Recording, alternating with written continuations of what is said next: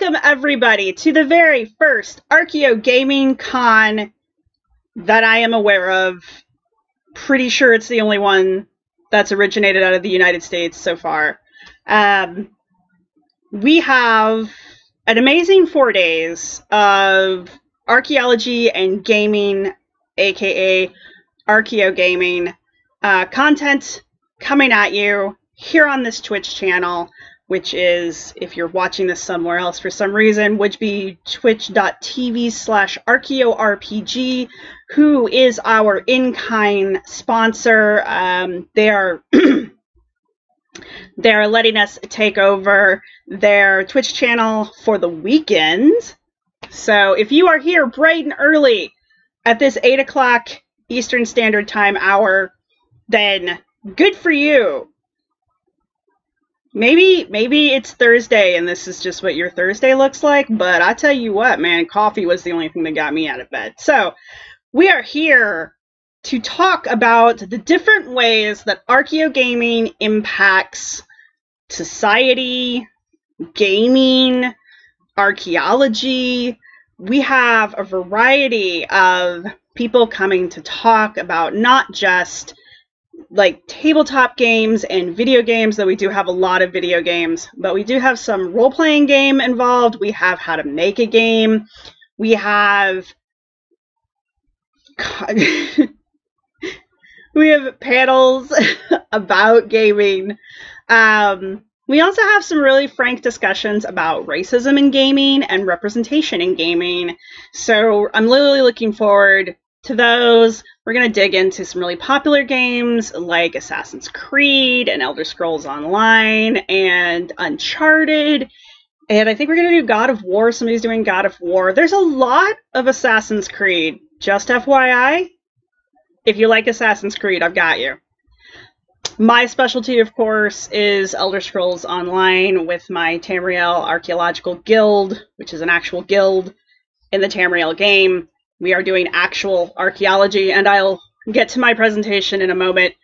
Before we go any further, though, I do want to say this is crazy. Um, I realized I wasn't going to be able to go to Gen Con this year for obvious reasons. And so I was like, hey, what if we had an Archeo gaming convention the same weekend? And no one stopped me. So this is everyone else's fault.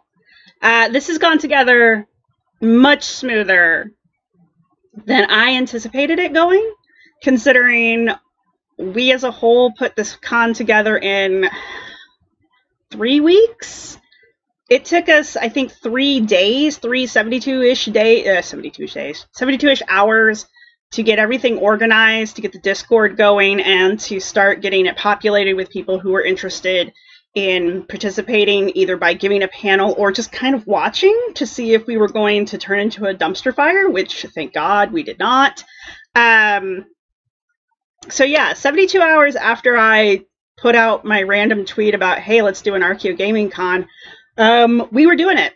And we have, over the span of the planning period, we've had over 30 presentations proposed. I think the majority of them have made it to the final cut, which is just amazing to me. Um, no fault on anybody. If you proposed something and it didn't make it, the fact that you even proposed something, you're like, hey, look at this thing. It's only going to take three weeks. Oh, wait, yeah, sure, I'll throw my hat into the crazy. Why not? Thank you all for doing that. Uh, thank you, everyone who's getting ready to watch this even if you don't watch mine, thank you for sticking around and watching somebody else's. If you're just here for one or two presentations, it's fine with me too. Thanks for coming. That's great. Um, I do want to say that this would not have been possible if there had not been so much interest in it.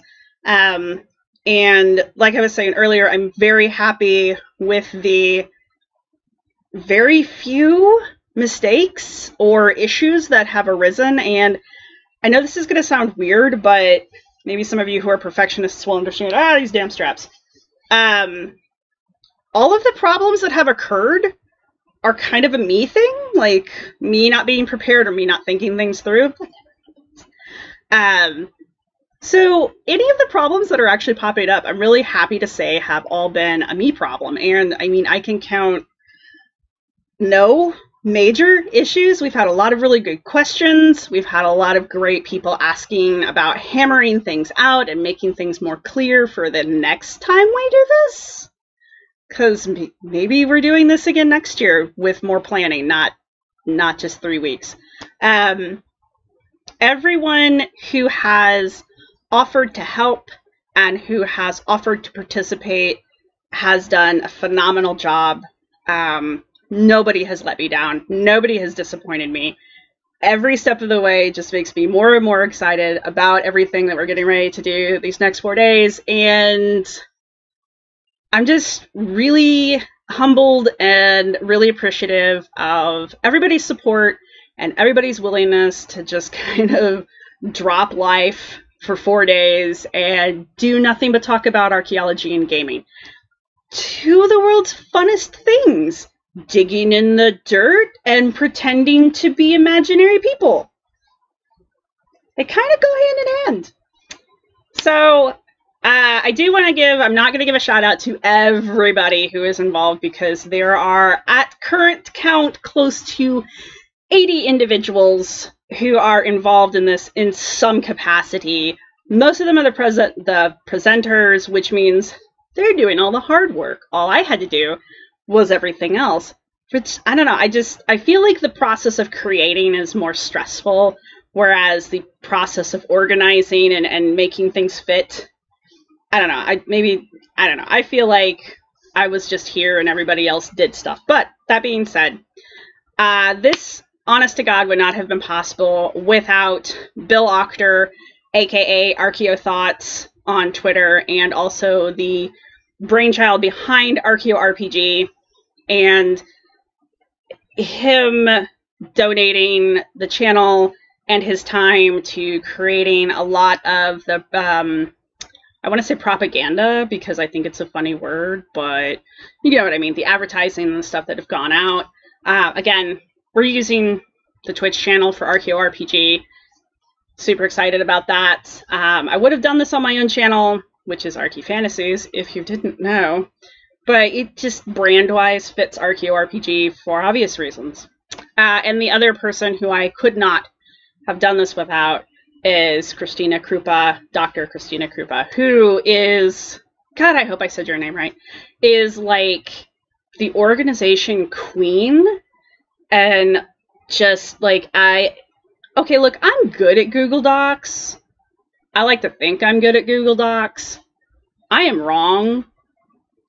Dr. Krupa kicked ass, took names, locked everything down so people couldn't change things anymore. Like she nipped problems in the bud before they ever even occurred. Super happy about that. So, for both of you, thank you very much. I could not have done this as smoothly as it has gone without both of you helping me. And that being said, thank you to all of my presenters who you're getting ready to see in the next four days. Obviously, couldn't have done it without you guys because we wouldn't have a con. So, thank all of you, and you're all going to get your 15 minutes of fame coming up. I have tried to create beautiful artwork in Canva for everybody to make you all individuals and to give you each your own personality during this con. Um, also, I want to give a shout out to um, Gothsicles, who is a, a band. I know this sounds incredibly crazy. Uh, they just got with us like Thursday. No, they were starting Thursday. Wednesday. They got with us Wednesday and offered us the fabulous Konami Code song that you will be hearing a lot of because it just fits perfectly in with our con, of course. So thank you, Gothsicles, for that. Please go check out their channels. Um, it's it's Gothsicles. If you type it in, it kind of pops up everywhere. And um, one last thing I want to say before I go into actually why you're here, and it's not just to listen to me ramble for. What am I at? I haven't. I've just gone over 10 minutes. Bye. Uh, we do have an official charity. It is Archaeology in the Community. It is run by the amazing Dr. Jones, um, also Dr. Jones. Seriously? No one? Really? No one? Anyway, uh, Dr. Jones has put together and has been running archaeology in the community, I think, for 10 years, I saw on the website. Um, what she does is she puts together accessible archaeological educational programs and classes for kids and adults, uh, but mostly kids, and offers them for free a lot of times to the community. She is based mostly out of the DC area, but I have it under good authority that they are expanding to a national organization, or at least they were going to, which is another reason why I really felt like uh, using them as our charity this year was vastly important because because of the thing that shall not be named because I don't know how that affects videos, but the big C right now, C19, not C14. Anyway, um, of course, everybody's been impacted negatively. I don't think anybody hasn't been impacted negatively by it. And so this is our way of being archaeologists, giving back to archaeologists who are doing really good work in their communities with the next generation, with the current generation, even. And so, that being said, if you would like to donate to a worthy cause, a worthy archaeological cause hell bent on teaching archaeology to children and bringing diversity into the archaeological field, then please go over to the archaeological archaeological archaeology in the community donation page. And there they have a series of donations you can just randomly click on because those are the amounts that they would like to receive and I would like you to give them. And if you do, I will give you a thing just for donating money to archaeology in the community. And also, if you don't want to give one of the um, preset amounts, they do have the ability to give whatever you want to give.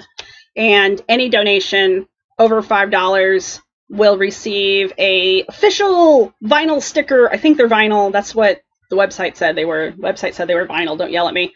Uh, but an official sticker for the con, proof that you attended and you were part of year zero of the Archeo Gaming Con. All you have to do is go and do the donation, obviously, and then um, they'll send you an email. You can just send me a copy of that email uh, along with your mailing address. That's all the personal information I need from you is your name and the proof that you donated and your mailing address. That's all. That's all I want from you.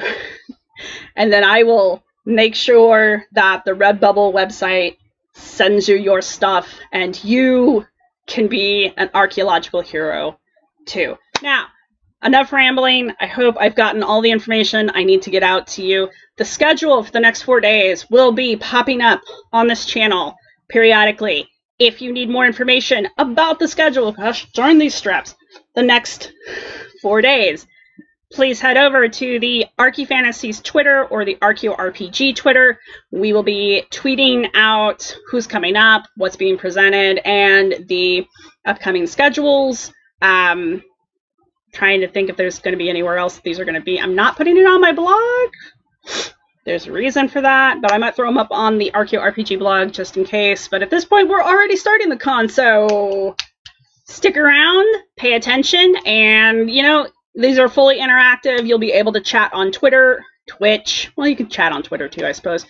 Be sure to use the hashtag if you are. And yeah, let's let's get going on this con, people. Woo! Who's up for some Elder Scrolls? All right. I promised you promised you a video about, uh, yep, the Tamriel Archaeological Guild. Welcome. Welcome. Figured we can play a little while we do that. So, what am I doing? Woo! Alright, first off, this is my beautiful boy. My lovely little boy. He is modeled after my own cat. and Trumpy. I, sorry, I'm just amused beyond words with this little pocket mammoth. But anyway. Ain't he gorgeous? Gorgeous in like that cute kind of motherly way, like you want to pinch his cheeks and be like, he's the cutest boy! And then throw him a cat treat and watch him go nuts. Anyway. We are in Northern Elsweyr.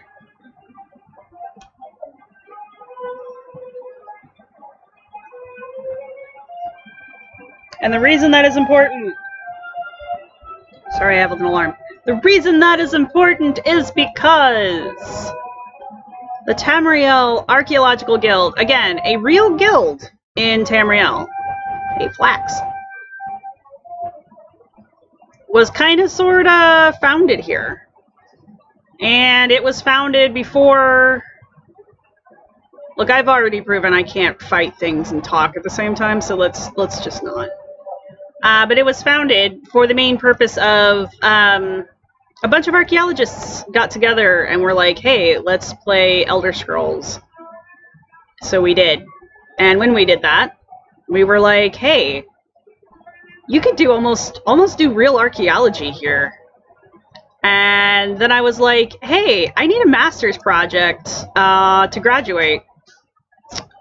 And then the Black Plague hit, I know that's not fair, but it's true.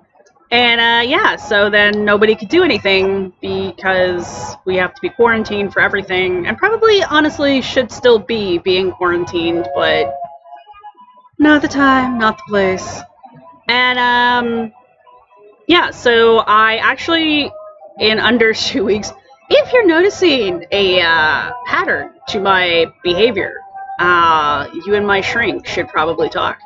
Anyway, uh, in under two weeks, I managed to put together a research proposal that I submitted to my professor, who was helping me with my thesis, uh, about doing a phase one archaeological survey within the game Elder Scrolls.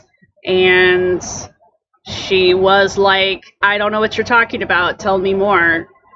And so I have told her more. And she agrees that this is a great idea using a virtual world and using real world archaeological techniques inside a virtual world. Um, I know that that's like the very basic um, definition of what archaeogaming is. Archaeogaming is a lot. And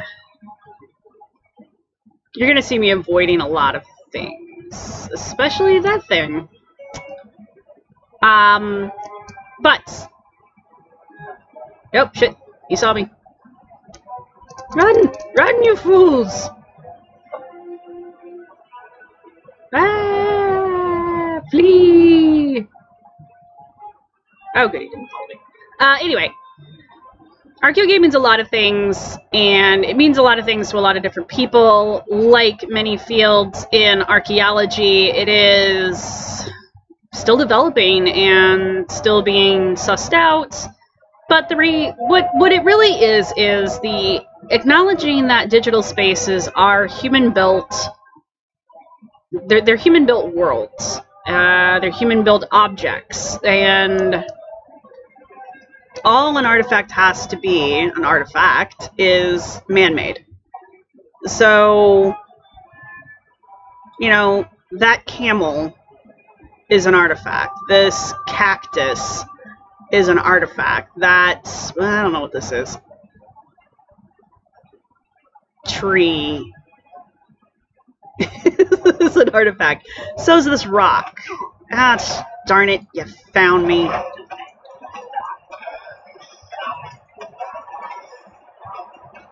I can't talk and do this. One of us will screw up and babble. Die! I was busy lecturing! This Dune Ripper's hide strange beach shield and carapace that it had on it. Those are all artifacts, and they're now in my inventory. But my point being is that because everything in this game is man-made, this entire game is an artifact. But this entire game is also a site which is why we can use archaeological methods to study it. Um, and many of our presenters throughout the rest of the con are going to get into some real in-depth analysis of everything I just rambled about. Um, so I highly recommend you stick around for that because those are also people who are much better at explaining this than I am. But let me explain to you what I did. Because I can explain that. Um, so, for those of you who don't know me, I am a CRM archaeologist, and what that means is I do cultural resource management, aka contract archaeology. I am part of the moving, the many moving parts of Section 106, which is a law that is on the books specifically to help preserve uh, our history in all its forms. Um, yes. So, what I do, hey, look, it's a dead thing. Uh, what I do is I go out into the real world, not the digital world. Need better words for this. And I do survey. And I do a type of archaeology called survey. We do several different phases. There's three of them currently, and within those three, there's a breakdown of those three. And the important one that you need to know is phase 1A, which is pedestrian survey. In pedestrian, if you don't know what pedestrian means, it means walking, basically. Uh, there's a counterpart to that, which is also shovel testing, which is what it sounds like. We take a shovel and we dig some holes and we see what's in the hole. Hey, look, other players. Hi, other players. How are you? Oh, you're coming up here. Hi, other players. You just keep your bad attitude over there. That's right. Have fun with those. Anyway, um, since we can't physically dig, or at least at the time we were unable to physically dig in the game, this game, this very game, uh, we decided to use a phase 1A survey method where we took the map and yes, my beautiful map. We took this map and we found out that there are coordinates on this map and then there's this guy that's just like, I don't know what happened to this dude. It's not perfect. Um, we found some add-ons that helped us see the coordinates. So now I can not only see where my cursor is on this map, I know what my location is as well. We also found another add-on that allows us to put custom pins, which is what you're looking at here. Pretty much any pin that is colored is a custom pin. And then for some unknown reason, I thought it was a good idea to use um, white houses as a pin. That that was a me thing. But as you can see, we did a lot. Every one of these pins was physically dropped, which means my character and uh, my other two surveyors characters, because there were three of us, and I thank you all who partook on this crazy adventure. Um, every one of these flags, my character was physically present to drop.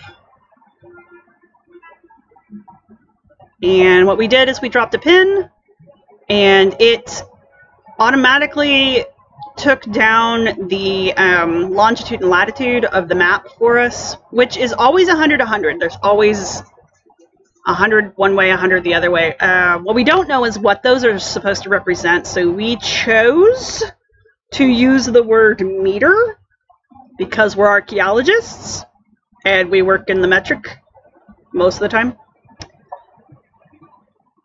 So as you can see, we not only uh, left a pin, dropped a pin, and the coordinates, uh, a lot of these we left a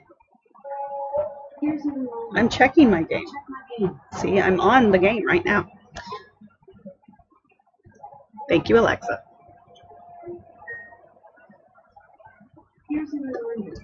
Check your game.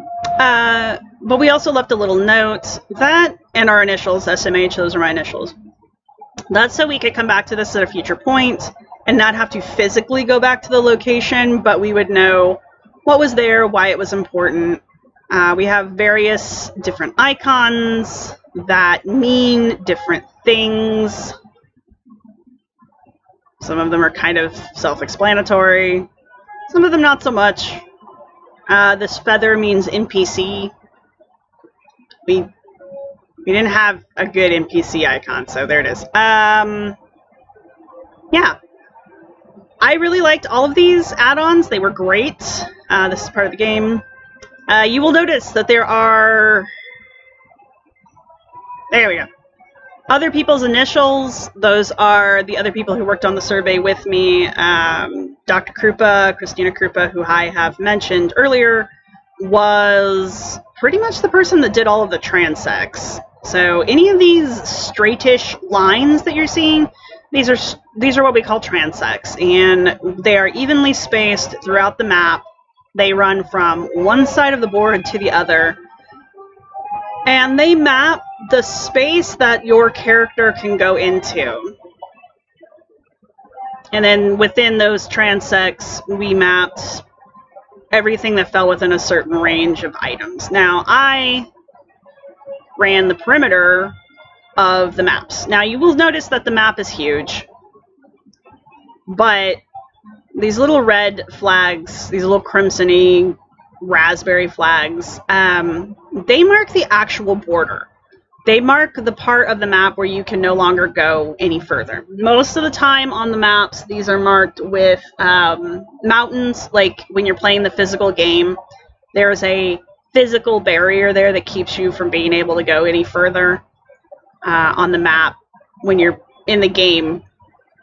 And you can see them on the map, but there are also spaces that show up on the actual map that you can't get to from the base game, from the, the base map. There's a way to get there, but I think you have to go through... Yeah, you have to go through the adept. This is the actual adeptorium, and this is the entrance to said adeptorium. So it's interesting to me how much space is depicted on the maps that isn't actually used. And I can figure out where on the map those would be because I can kind of point at it with a cursor and compare it to, you know, the actual map point of my flags that I've dropped. Uh, eventually, I want to take all of these points and they can be removed from the, I mean, I can access this data um, on the back end of the game, so I can go in and um, basically pull this data out, put it into a raster, roster? Yeah, raster format, and then I can um, take that raster information and put it into, I'm hoping to put it into ArcGIS and create an interactive map. That way, uh, that will have layers. So when you zoom in, it'll zoom in like this, but then when it gets to this point, it'll zoom in further, and we can see more and play around with the map more. Uh, we'll be able to make more accurate measurements from one point to the next, and you know, do all kinds of fun stuff with it. Uh, that is that is a hope to get to, not a make or break. But what I still need before anything else is I need to know what's where, what's it doing, who's there. Um, Dr. Krupa also did a um, skeletal analysis for me of all of the humanoid, there we go, humanoid skeletons in the game. And the reason why I'm specifying that they were humanoid is because As you see, we did multiple maps. We did multiple zones. So this is Grahtwood, which is a uh, wood elf dominated zone. And then, of course, Northern Elsweyr, which is the Khajiit. Ka yeah, the Khajiit. And then we did Merkwood. Where's Merkwood? Merkwood's an other, isn't it? Yes, Murkmire, sorry.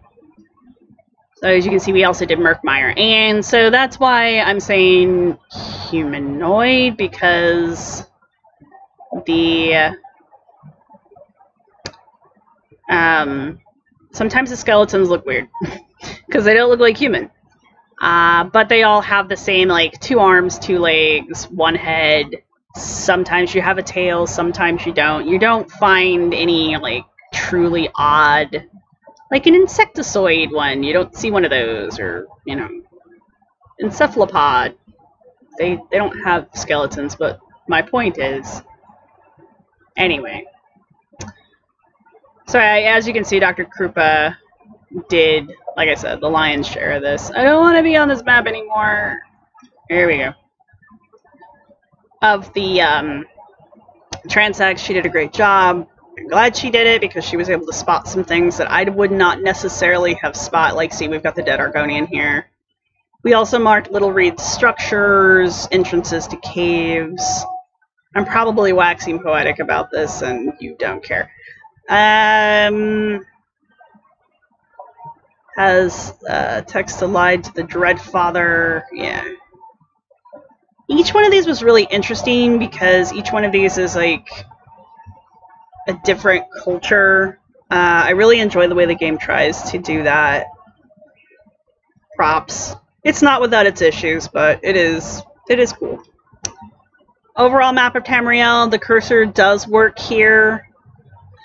Again, all of these maps are 100 one, or 100 100 and I know that because I can measure it easily. I think they're actually 99 by 99, but still my point being every time I change my map, it shows me different coordinates for my for me because this is the coordinates of me. This is where I am on this map. And then if I go to northern Elsweyr, you'll notice that my coordinates change because my location is different. So just kind of zoom out, does a top in, top out kind of thing.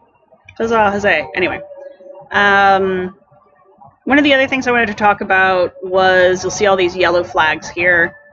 After we did the initial phase one survey here, we then went back and on each zone we picked a a set of structures that looked interesting, and we did a full survey of those structures where we went in and we mapped everything. Um, so I did this one, which is why I'm using this one because I know what all my little flags mean. I've got crypts, I've got um, Thanar, uh, Thanar the Grave Prowler, if that tells you where this is. But because of that, I was also able to determine that this whole grouping of ruins is probably the same structure or was the same structure at some point and now is not. It's now in ruins. Um, each cluster of these yellow flags is a point of the actual physical structures. And again, when I go in and pull all this data out, I mean, right now it just looks like a bunch of flags. Uh, but when I go and pull all this data out, there will be actual coordinates attached to it, and I will be able to use those coordinates to remap this site completely. So I will be able to create a map of this site outside of the game that we can then interact with. Um, and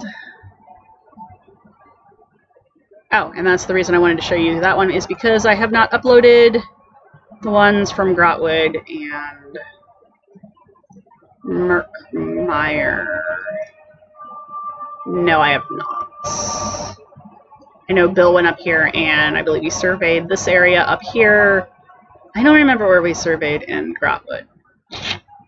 Shame on me. Alright, so.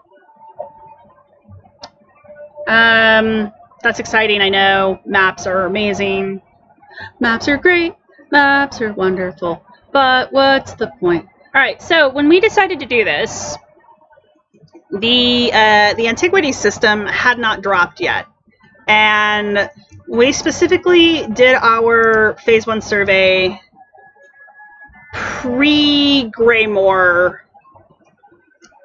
And we did that on purpose, actually, because another aspect of CRM archaeology is we go in and survey an area before it's developed a lot of times. So you know, someone's going to put in a road or they're going to put in a um, a cell tower or anything. Anything that gets built and it's disturbing the ground or has the potential to disturb the ground, you'll see a crew of archaeologists go in before the building equipment goes in. And that's because we have to go in and make sure that there's nothing of historical significance that's going to get destroyed or disrupted. And, you know, how significant it is. And there's a whole bunch of other things that go into all of that. What is that? A jackal? Why are you sparkly? Weirdo. Oh, it's a crow. Bye, crow. Anyway, um, so that kind of corresponded with our surveys of the area because everything that was surveyed was surveyed before uh, the new download. And the reason for that was is we weren't sure how things were going to change with the new antiquity system getting put in. We weren't sure what was going to be impacted, um, if the map themselves were going to change, if structures were going to get moved around or added. It's not uncommon for that to happen. So we weren't 100% positive what was going to occur. So what we did is we ran through, we did the survey uh, in two weeks. We managed to get all three of those zones surveyed in two weeks, and we were able to get the um, analysis, not faunal, the um, bone analysis done in that two weeks as well. And it was pretty cool, actually. And, and much like every other survey on the planet, uh, we now have all this data, and we're going through it, and we're putting a report together and by we we mean I mean me. So right now I have a crap ton of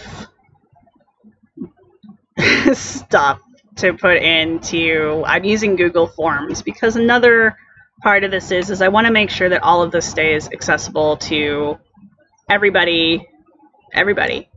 So once I get everything all written and put together, I will be making all of my research uh, publicly accessible. I think I'm going to wait until after I get everything done, though. That just seems like a smart idea. And But I'm going to put a halt on the game right here, and I want to show you guys what the data looks like when it's outside of the game world. Okay, so I think I've hidden majority of stuff that's going to be an issue. if not, oh well. Um, so this is actually the Tamriel Archaeological Survey folder where I have been storing all of the good stuff. You can see my thesis proposals right here. We had a outline of what the, the custom pins were going to look like. And we did have a... I'm recording.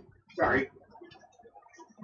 And we did have a phase one procedural proposal put together um, just so everybody knew what we were supposed to be doing when we did the survey. Um, so after that, one of the things we did in the survey was we made sure that everybody took videos. Everything got videoed. Everything got videoed. So we did do Southern Elsweyr, but we decided not to go forward with Southern Elsweyr. That's right. So let's not linger here. Ah, Google, read my mind.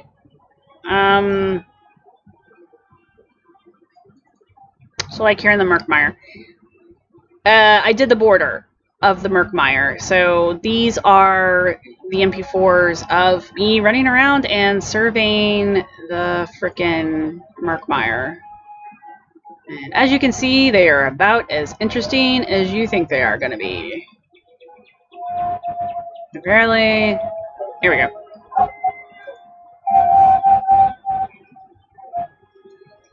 Uh, I also thought that it was going to be a genius idea to use a different character in each zone. So instead of using my Khajiit here, I'm actually using my Argonian. Um, turned out to be a little bit more difficult than I thought it was going to be because she's not very high level, and I'm going to turn the sound off on this. She wasn't very big, so we had a lot of we had a hard time getting into certain areas with her, we being me. But as you can see, I'm running around the border here. Every time she stops, it's because I'm doing something. Yeah, here we go. So here's the custom pin This is me inputting the data of the custom pin. I know what my coordinates are because they're right here. I was putting in a boundary marker, so I didn't really need to put in a, like a big description of anything. But there you go, see? And then I swam out. This Is the one where I keep getting killed by slaughterfish? Probably. I mean, when I say I tested the border, I mean I tested the border. I I swam out on more than one occasion. Was yeah, there I go. Got murdered by slaughterfish. But I know where the border was. So there you go. So after we took all of this all these videos, and I wasn't the only one taking videos. Uh, Bill obviously took some, and Kristen took some too, and are the accidental discoveries. She went in and uh, videotaped all of that. The reason the video was so important was because it was our document. It was our main documentation for um, what we did. And so what I was able to do after that was I went in and took each one of the films. So I have sat through and watched all of those, most of those. And what I did with that was I've created a data log. So these are all of the different video formats, videos that were taken, where they were taken, who took them. And I also have a photo log master list. I can take screenshots out of these videos now. And and also the screenshots that people took while they were surveying. So I've got video and screenshots, but then I can take screenshots out of the videos as well and that actually creates more videos. Uh, it also allows me, yeah, see, we're up to 300 videos coming out of this. Some of these are just, kind of see the little videos, or not the videos, the pictures. It's nice because like with um, Christina's stuff. Christina ran all of these transects, and she took a lot of screenshots, which is great. But then when I sat and watched the transects, I was like, oh, I wish I had a picture of, you know, I don't know, that these ruins from that angle because we video recorded everything, it gave me the ability to go back into those videos and take extra screenshots out. Because I don't need, I need the whole video because it's documentation. But when I'm presenting, I don't really need the whole video. I just need a screenshot. So basically the videos allowed me to create a larger, um, a larger screenshot or yeah, a large a larger photo log than I would have been able to do anyway because I couldn't be there with Christina when she did every one of these transects. So if I want a specific screenshot, I have to rely on the videotape of her doing the transect, which is fabulous. Fabulous because I can.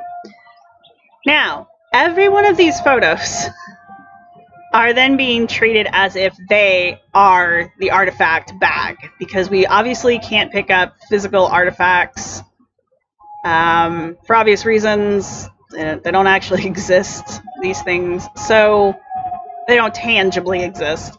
So my artifact catalogs, and I also have site logs, uh, but my artifact catalog is heavily dependent on the photos. Uh, so with my artifact catalog here, you know, I've got my project number. If there's a site, there'll be a site number location, launch lat, artifact number, everything gets a number. I'll be filling certain categories out more as we go, but here you go. Description of the artifact that I'm looking at. It's a bedroll. It's unrolled bedroll with a white pillow, green bat, uh, white straw beneath. That is a very common thing. Now, this gives me photo number five. So I should be able to follow this to data cell number five. Do do do do do do do do do do do do. Eventually it'll load. So I've got photo number five. It's actually data cell number six, but that's a whole other thing. Now I can click on this. It'll take me to the picture that we are pulling this artifact from. Close that because I don't need those. And there you go. You can see what I'm talking about here with the This is the bedroll that we're talking about. It's a bedroll, unrolled, green mat, white pillow, whitish hay underneath. So effectively, this picture is the artifact bag. And everything that's in this picture that I felt was significant for our survey was recorded as an artifact. And here's where it gets tricky with Archaeogaming because since we're looking at the game as if it is a artifact and a site, um, every one of these, like this photo, is a photo of a site. Like this, this is a site. Everything on here can be treated as if it were part of a site because it is. And everything in this picture is an individual artifact. But this picture itself is also an artifact. This individual picture right here, this file, is an artifact. This file is part of a larger file. So this artifact is part of another larger bag of artifacts, which would be the video that Christina took of the transect that she did, because this is Christina's character. So that video file is also a site, and it is also an artifact. And that video is, you know, you see how this keeps going, like Matryoshka dolls, Matryoshka, Matryoshka dolls. Um, now, now, what am I doing with all of this? What what's going to happen with all of this data.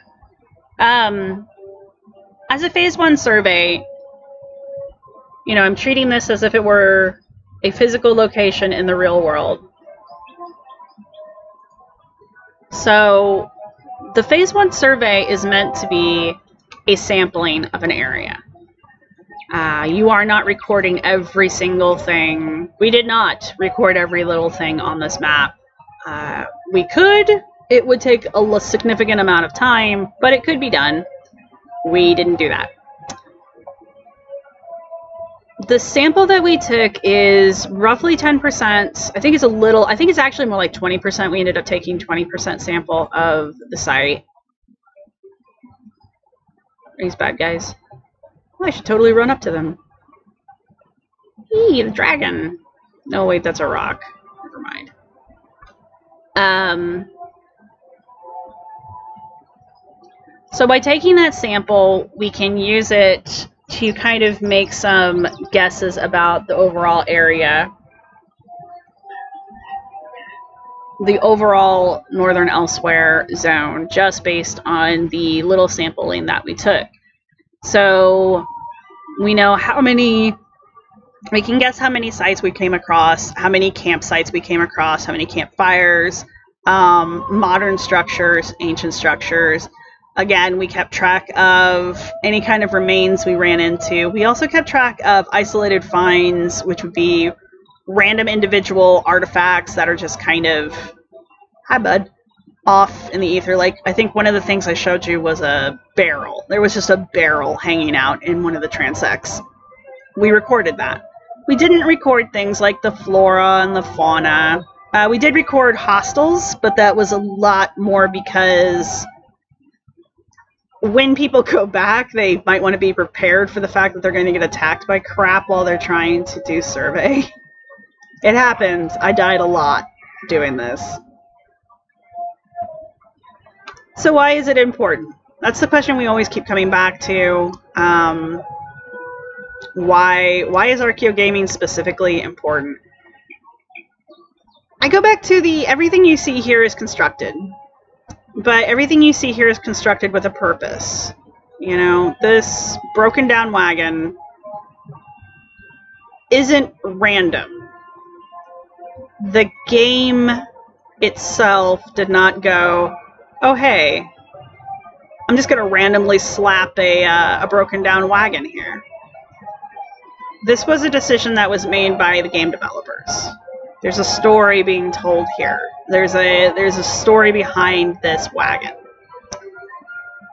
There's a story behind this this road that I'm walking on and these half walls that are here. There's a story behind these guide lights. I mean, yes, they're in the game to help me, the player, keep on the safe path in between towns. But there are also these guiding paths that are in between the major towns on this map. So, what does it mean that all of these towns banded together at some point to create safe roadways and then marked them for people? You know, what's the story behind this beautiful structure? I think we're in Rimmen now. You know,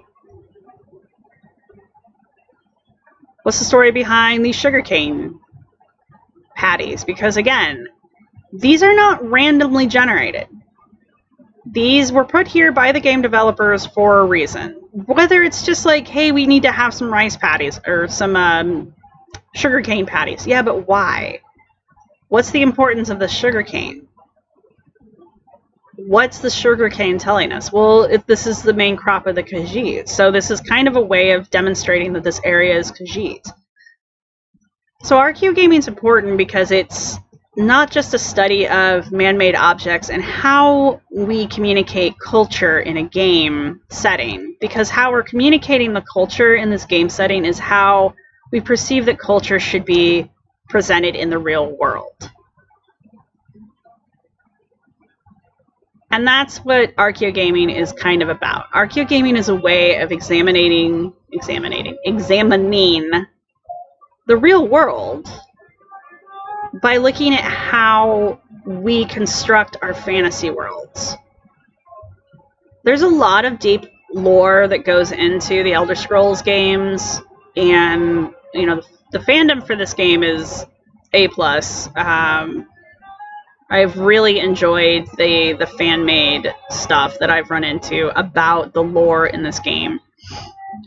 And it's highly detailed. The game itself is highly detailed with its own back lore. And everything about that back lore tells us about how people interact with culture in, or how they expect to interact with culture in the real world. You know? So by studying archaeogaming and by studying man-made worlds within a game, we are studying humans human beings interaction with the cultures of the real world. If you play this game, you'll see a lot of overlap of things, a lot of ways of people saying in game with visual cues, this culture is this, this culture is that. And because I have all these visual clues telling me that the Khajiit are supposed to be mimicking a certain real world culture, I fill in the blanks for everything else. It's that kind of communication. It's, it's visual communication of culture through game. But it's also a constructed culture. The Khajiit are not X culture in the real world. They're inspired by, but they are not meant to physically be a one to one representation of them. I think the only one you can really say that about is like the Imperials and the Greco-Romans. They, they really are kind of a one for one there. And the Norse and the Nords, those are definitely a one to one. But so overall, uh, now that I've rambled for about 45 minutes, uh, yeah, so my my master's thesis is on this, um, and as you can see, I've got quite a bit of data that I am compiling. I can't wait to get it all done so I can actually start seeing what the data is telling me. And uh, the reason that I'm doing this is because it's it's actually kind of important. Um, it's important to see how we construct worlds that we are going to interact with to tell narratives about imaginary peoples because that also tells us how we expect the real world to work. And doesn't always work that way. But, you know, that's the fun of a game. Yes, Trumpy. Yes. Look, I named him Trumpy because he's got a trumpet. I don't have a better name for him. I guess I could name him Masty. Masty. Mastodon. Anyway, uh, so yeah, thank you all for joining me on my great and I just really like this view. I'm sorry. Uh, this great and rambling escapade through the world of Tamriel. Um, my Phase 1A survey is not the only research project, real world research project that Tamriel Archaeological Guild is going to participate in. It just happens to be the first. Uh, we do have plans to take the Phase 1 into a full Phase 3 in the future. Uh, but it all kind of depends on me getting the Phase 1 done. So, do do do do do. And yeah, we've got other things that we're studying here. We've got cultural studies and um, just game representation studies.